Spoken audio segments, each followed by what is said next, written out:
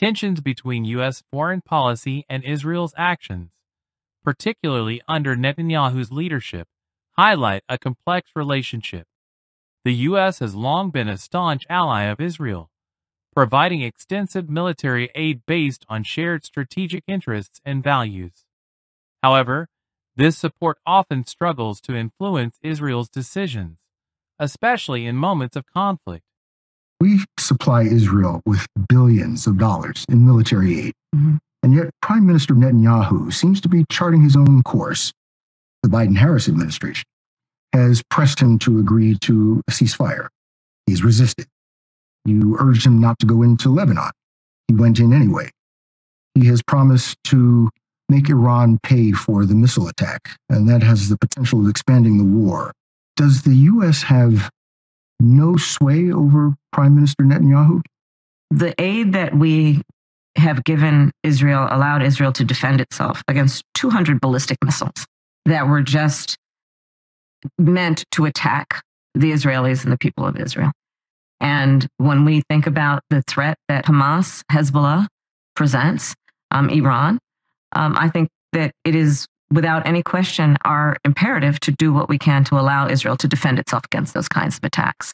Now, the work that we do diplomatically with the leadership of Israel is an ongoing pursuit around making clear our principles, which include the need for humanitarian aid, the need for this war to end, the need for a deal to be done, which would release the hostages and and and create a ceasefire. And we're not going to stop in terms of putting that pressure on Israel and, and in the region, including Arab leaders.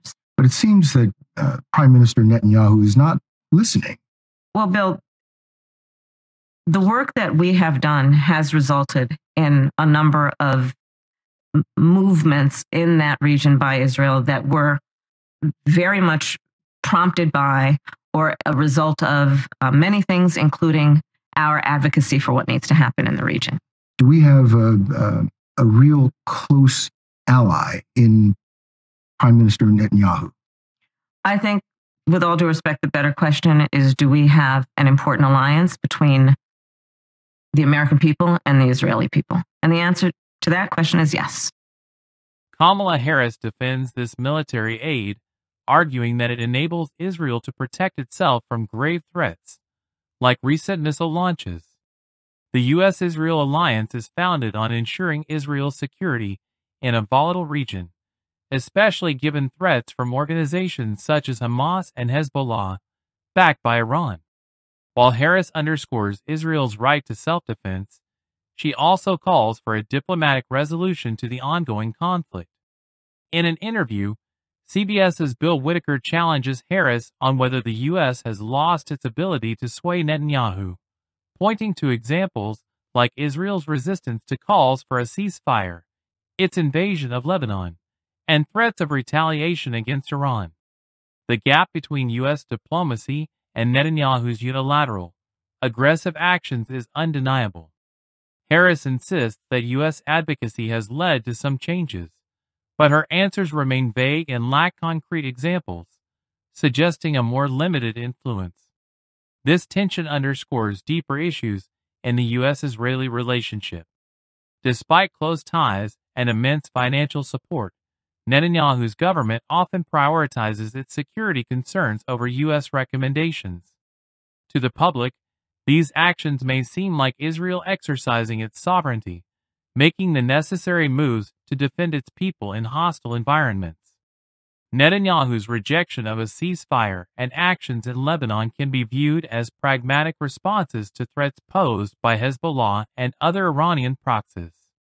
Harris attempts to steer the conversation away from focusing solely on Netanyahu, framing the U.S. Israeli relationship as one rooted in the bond between the two nations' people, not just their governments.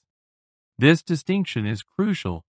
Despite leadership disagreements, the foundation of the U.S. Israel alliance remains strong, built on democratic values and shared interests. Yet, Harris's responses leave key questions unanswered. Can the U.S. truly pressure Israel when its security is on the line? The implicit answer seems to be no.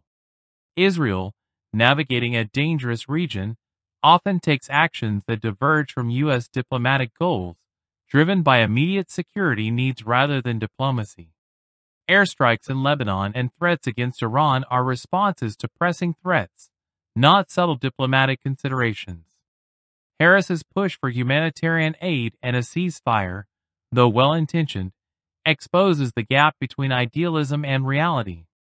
Israel's war against groups like Hamas, who operate within civilian areas, forces difficult choices. Calls for aid or ceasefires must be weighed against the need to neutralize threats to Israeli civilians. Even when Israel's actions seem harsh, they can be viewed as necessary for its survival in a hostile environment.